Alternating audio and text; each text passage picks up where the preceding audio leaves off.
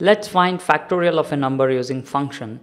Factorial of a number is the product of all the numbers preceding it. For example, if the number is 5, factorial of 5 is 5 into 4 into 3 into 2 into 1 which is 120. So factorial of 5 is 120. Also note that factorial of 0 is 1. With this logic, let's write the C program. I'll take an integer variable num. I'll ask the user to enter a number to find factorial. Remember, it must be a positive number, by the way. Then I'll store it inside the address of integer variable num. Now let me call a function called factorial and pass the user entered number. That's it for main function. Okay. Now let me copy this and write the prototype for this function. Our function factorial doesn't return any doesn't have any return type so void factorial. It takes an integer type argument. So this is our uh, prototype. Let me write the definition of function factorial. I'll take an local variable num which copies the number uh, which copies the value of num from main method. I'll take some variables count for loop counter I'll assign fact. I'll assign 1 to fact. Okay? I can't assign 0 here because we multiply things. So multiplication of any number with 0 is 0 so I'll take fact is equal to 1 so if number is equal to 0 as we saw before the factorial of 0 is 1 so I'll display the message. Factorial of 0 is 1 okay? Else if the number is not equal to 0, then I'll write for loop.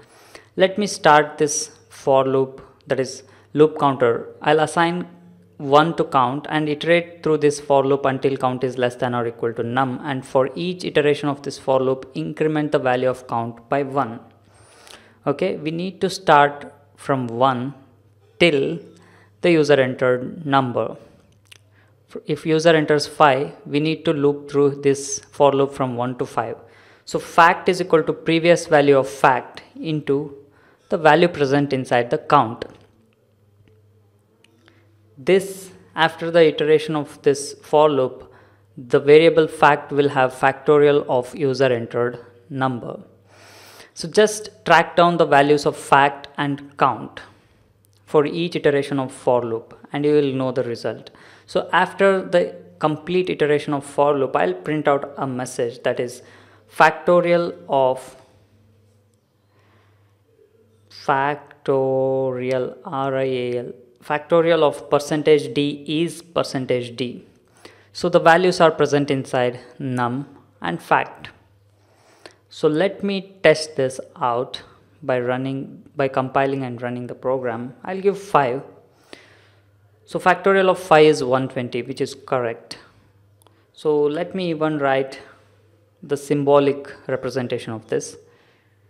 So again these values are present inside num and fact. So let me compile and run the program once again. I'll give 5. So the factorial of 5 as we saw earlier is 120.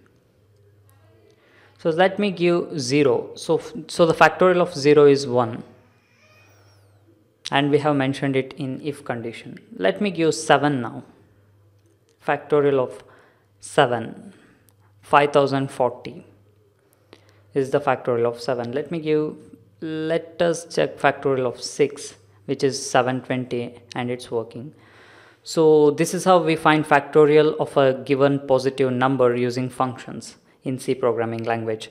Please visit the link present in the description section of this YouTube video for source code, notes and discussion about this topic. Please stay subscribed to our YouTube channel and blog.